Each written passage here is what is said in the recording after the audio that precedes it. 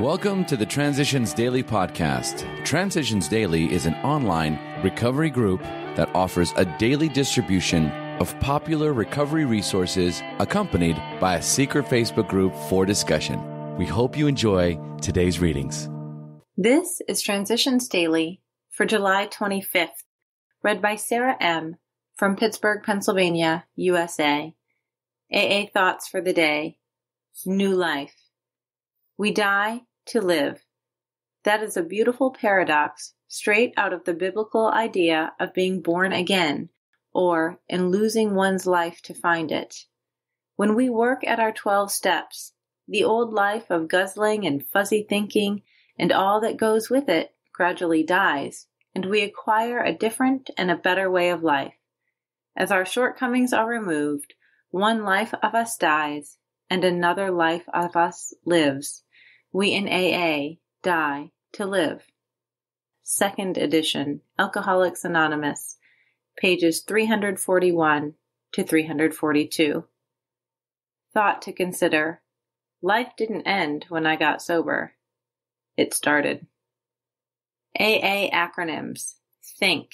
The happiness I never knew. Just for today, accept my humanness from a nourishing ingredient.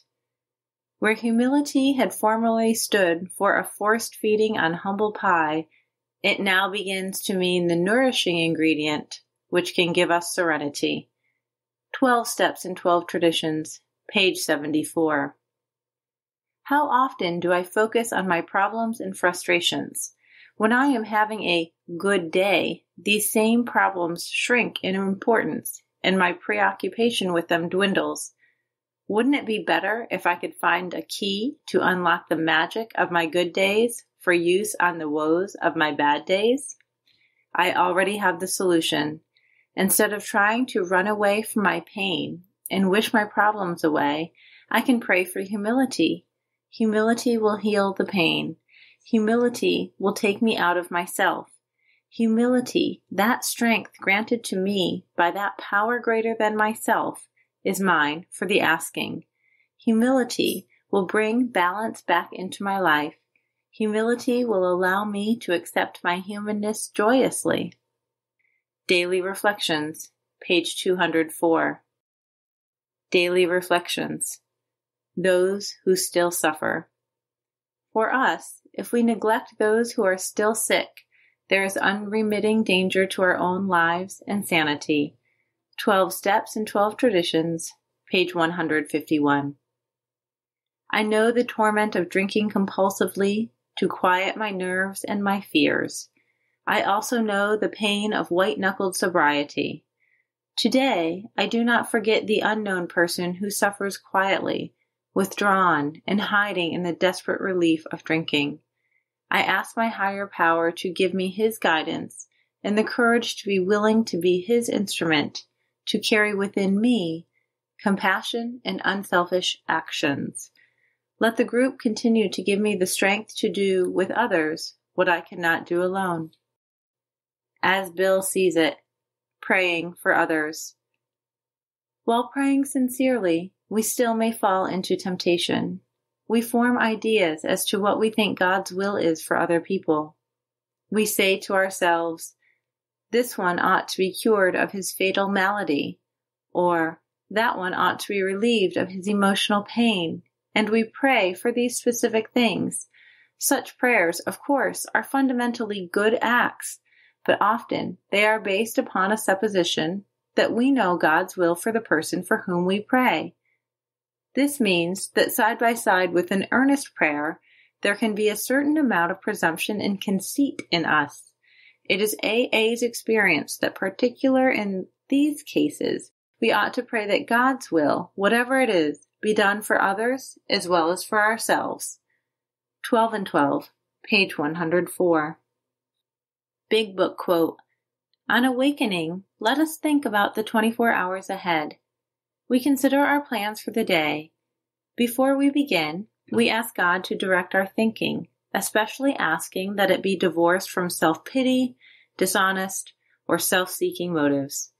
Under these conditions, we can employ our mental faculties with assurance, for after all, God gave us brains to use. Our thought life will be placed on a much higher plane when our thinking is cleared of wrong motives. Alcoholics Anonymous Into Action, page 86. 24 hours a day. AA Thought for the Day. We are living on borrowed time. We are living today because of AA and the grace of God. And what there is left of our lives we owe to AA and to God. We should make the best use we can of our borrowed time and in some small measure pay back for that part of our lives which we wasted before we came into AA. Our lives from now on are not our own. We hold them in trust for God and AA and we must do all we can to forward the great movement that has given us a new lease on life. Am I holding my life in trust for AA? Meditation for the day. You should hold your life in trust for God. Think deeply on what that means. Is anything too much to expect from such a life? Do you begin to see how dedicated a life in trust for God can be? In such a life, miracles can happen. If you are faithful, you can believe that God has many good things in store for you. God can be Lord of your life, controller of your days, of your present and your future. Try to act as God guides and leaves all results to Him. Do not hold back, but go all out for God and the better life. Make good your trust. Prayer for the day. I pray that I may hold my life in trust for God. I pray that I may no longer consider my life as all my own. Hazelden Foundation, P.O. Box 176, Center City, Minnesota 55012. I'm Sarah, and I'm an alcoholic. We hope you enjoy today's readings. You can also receive Transitions Daily via email and discuss today's readings in our secret Facebook group. So for more information, go to dailyaaemails.com today. Other than the 24 hours a day reading, unless otherwise specified, all quotes copyright Alcoholics Anonymous World Services Inc., 1952 through 2001.